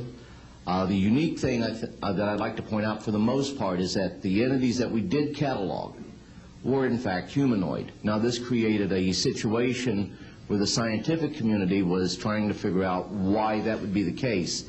Because you would expect that if life evolved on other planets, that they would take on some type of other uh, being, so to speak, not necessarily look humanoid or be bi- bipedal such as we are. But apparently, we got quite a few of the species out there that are humanoid in appearance, and that creates a question that yet has to be answered by science. Uh, Yes, and I'm- as I call on you, please uh, state the news agency that you were with. Uh, Yes, yes, ma'am. Deanne Divis with United Press International. Could you please address uh, the vehicle that uh, there was a drawing uh, displayed of? Why would this vehicle be on display at an air show? What is the power source that you are asserting is going to be uh, so very useful? And um, how can you determine that this vehicle is not something um, that is being developed, you know, by a government agency? Uh, In fact, I think that was the testimony. This is an alien reproduction vehicle, and just to be clear, uh, this means that it is uh, based on advanced anti-gravity and zero-point energy propulsion systems. Those are the propulsion systems. They are being manufactured by a consortium of companies that include Lockheed Martin, uh, Northrop, uh, SAIC, and other corporations. They do have superluminal capacity, in other words, faster than the speed of light capacity. Um, I think uh, Mr. McCandlish and other uh, witnesses that he's identified could go into more of the technical physics of it. I, I'm just a country doctor from Virginia, I tell people. I mean, really. And uh, but it, it, this is actually what is the reason it's called alien reproduction vehicle is that it's based on the study of extraterrestrial vehicles, but it is manufactured by human military intelligence, aerospace contracting arrangements. Uh, and this is very important. It means that we, Homo sapiens, have the ability to access this so-called zero-point field of energy, which is the ambient field of energy from which all matter and energy is fluxing, and can access that energy and generate all the power we need to run this planet without fossil fuels or pollution. Do you have any direct evidence, though, that this, I mean, we're talking about the same government that so appropriately named a, a snooper program carnivore. So just because it's named the alien reproduction vehicle, considering the history and, and the, the questions that have been existing for such a long time about flying saucers, I mean, do you know, is there any direct reason to believe that this is actually derived from technology? Any of the witnesses who can attest to that? And, and how would this, uh, a propulsion system, a rocket engine doesn't necessarily translate into electricity. Can you elaborate on that? Uh, Well, the first part of your question, I would say that the, testimony of witnesses we have, some of whom are here, others that are not here, but they're in the briefing materials, is that they have studied, we have studied specifically extraterrestrial vehicles which have been retrieved. The breakthroughs in that research have led to applications that have led to the building of this and similar anti-gravity uh, devices. And that, uh, in fact, uh, this can be proven in open testimony before Congress, and that is exactly what we are calling for. We have the witnesses to establish this, and they also then also have the documents and the specific uh, uh, details of the propulsion systems. But this is not a jet internal combustion system at all. It is actually kicked in by a type of electric power source, and it then accesses this ambient zero-point energy field that is uh, responsible for all matter and energy existing, and uh, by special configurations and, and what have you, it causes a, a, cancellation of mass inertia and an anti-gravity effect. And uh, this is a complex technical discussion, which is probably beyond the scope of this conference, but we have materials in the briefing uh, document that we can provide you with references uh, to people who have studied the anti-gravity effect, as far back as certainly the 1950s. Uh, we have one witness who said uh, that uh, his family was connected to the RAND Corporation and uh, that uh, by the uh, mid-1950s that more money had been spent on anti-gravity propulsion systems than the totality of the Manhattan Project. So uh, yes, we can establish those elements. Uh, Other questions? Thank you. Uh, My name is Murray Felsher. I publish a newsletter downstairs here called the Washington Remote Sensing Le- Letter that deals with reconnaissance and surveillance of the Earth from space. Uh, My question is this, since uh, 1972 with the uh, launch of Landsat 1, uh, and now with the launch of commercial space imagery, there are some archived, uh, I would say upwards of 35 million photographs of the Earth from space. Uh, not one of them has shown a, a, a, uh, uh, flying saucer. Are are you suggesting that these have been airbrushed out? We're suggesting that there is a uh, system before the public gets hold of anything that's off of a uh, government-connected satellite. There is a compartmented operation that does indeed sanitize them from this type of evidence. And I think the testimony of, of uh, the, the gentleman who here who was with the Defense Intelligence Agency, Mr. Maynard, uh, Ms. Hare, and others would substantiate that. We have other witnesses who have been involved in projects where such uh, items have been sanitized out. It could also be that if you did a thorough search, you might find a few that slipped through. We obviously haven't had the research uh, dollars to go through all the millions of, of images that are cataloged to look for them, but we do know there's been a very thorough sanitizing of this. And uh, people should not be naive about the extent to which covert programs using billions of our tax dollars have been able to effectively hide this. This is one of the sort of myths of both the media and the public. It's sort of a Pollyanna myth that we, we live in a society where such things could not be done. In fact, they are done, and we can prove that they have been done. Entire proceedings here, and I'm wondering how your screening process went. Can you tell us a little bit about your satisfaction level with that? Well, I'm very satisfied that, that these are uh, genuine and good people who are speaking truthfully. Not of, uh, 400 people that I'm dealing with, not 20 times this number. Uh, Have I been fooled? Yeah. I'm an emergency doctor. Let me say something. People come into the emergency department with flank pain, right riding on a stretcher. What have they got? A kidney stone, right? Yeah, well, some of them go into the bathroom, prick their finger, and squeeze blood into the water, the, the, the urine sample, to show that they have blood in their urine so they can get a narcotic injection. Now, have I been scammed as an emergency doctor? Because, you know, I'm bright enough to, to, to kind of know when I'm being scammed. But have I occasionally? Yeah. Is it possible? It's possible. Is it likely? No. And here's what's more important. You don't not treat or accept the, the, the, testimony or the history of every patient that comes in with flank pain and assume that they're lying just because you've been scammed once or twice. This field, you make a very good point, is filled with hoaxes and scams and what have you. It doesn't mean, however, that all of it is. And in fact, what we're saying after eight years of research, we have found the documents, the top secret witnesses, the insiders willing to testify under oath before Congress that this is true. Now, here's another key point. Some of the people who are in this witness pool, Mr. Sheehan, myself, and a couple of other attorneys, are members of state licensed professions. And what that means is that if we are perpetrating a hoax, we will lose our license to practice medicine, we will lose our license to practice law, we'll be perpetrating a hoax upon the public.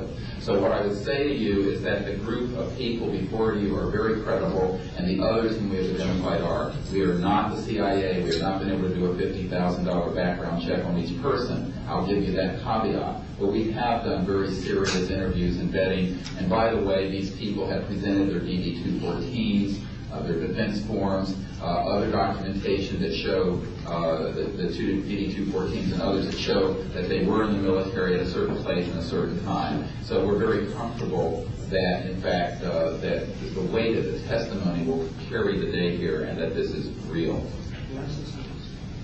I had an insight, and it relates to your question. Uh, there have been tens of thousands of sightings and experiences from all over the world. Only one needs to be true. Because if only one is true, then the entire case the non-reality of apart.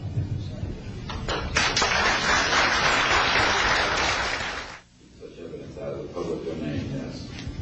Permanent. A priori, all signed agreements and oaths that have flowed from such operations are null and void. What that means is, in any other, in legal theory, is that if, it's an illegal enterprise, the agreements that are entered into as a, as, a, as a result of that illegal enterprise have no legal standing. So one of the things I would like to announce today is all of the men and women listening to this, need to know they are free to speak. We are declaring all national security oaths on this subject null and void. They are, have flowed from illegal operations that have no standing constitutionally.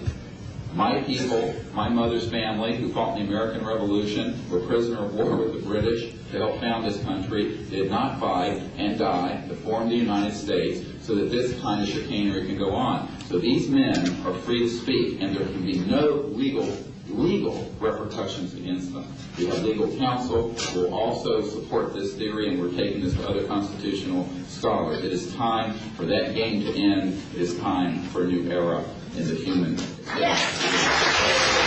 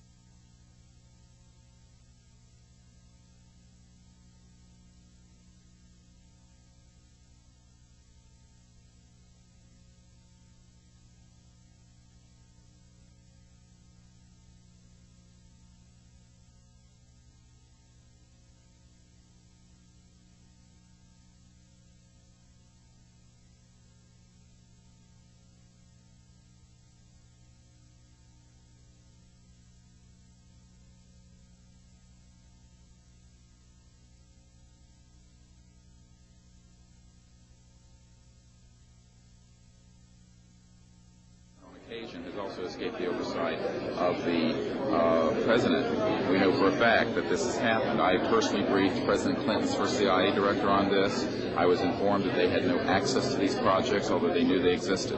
I was told the same thing by the senior investigator for the Senate Appropriations Committee, a man named Dick D'Amato, who in 1994 told me that there were somewhere between 40 and 80 billion dollars a year going into these classified projects, and that he, with a subpoena on behalf of the Senate and a top secret clearance, could not penetrate them.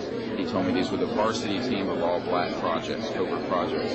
So this is really serious stuff, and it, it brings into question have we gone down the road that Eisenhower warned us about a little too far when he said, beware of the military-industrial complex, that it can escape the checks and balances of our democracy. And I think on this particular issue, uh, it in fact has, and it's time for um, the uh, Congress to represent the people in this regard and to reassert its oversight of these projects. One last question. When you talk about putting the checks and balances back into place, talk about the passion of these people, if you would. How confident are they? Well, they know what they saw. I mean, these are men ranging from uh, Air Force and NRO officials to people who have been contract agents for the CIA to people who uh, have been pilots uh, in uh, World War II and are heroes of our country, the greatest generation that Tom Brokaw talks about. And so what I have to say to you is that uh, these people know what they saw. They're not going to be speaking about anything except what they directly witnessed. And we're not talking lights in the sky and swamp gas. We're talking people who have actually retrieved uh, extraterrestrial vehicles who are going to be here today. Very good. We'll take one picture of it. That's concrete and that's based on reality. But anyone who does further research in this field will find that they are not hostile. None of them are hostile. They have shown us that they can shut down missile silos and rockets. They have not destroyed us, and they've been here for tens of thousands of years. We know of 50 years worth, more or less, of secrets. We know of major. And the fact what is, this hybrid breeding program that, that keeps uh, being referred to? well, again, we're not dealing with these kinds of things. We are dealing with credentialed, unimpeachable witnesses here Well, do you who have worked in there such a projects. We're, we're not dealing with that. We're dealing with what we know. What we know is that these are not hostile entities. I don't know how to explain this to you except the people here are all still here. The world is still here. And they have shown us what their technology is capable of doing. And you can yet imagine, and you can hear from witnesses who've worked in fields of re-engineering, back engineering, what kinds of technologies can come out of this to literally save people from the suffering that's going on Well, right I I don't doubt the possibility of that. Yes, and that's what this disclosure is about. It isn't about these other kinds of stories that you have no proof of and nobody does. And the fact is, we have Well, here of well, what we're well, saying. they, they have removed uh, artifacts. Well, again, you know, we're not going to deal with this kind of story, and a lot of that is manufactured also, that's for sure. So what we're dealing with here is concrete evidence, documents, people who've been working in the industry, in the military industry, complex intelligence. I worked on the MX missile, and I was, if I went public with that whole so you can imagine.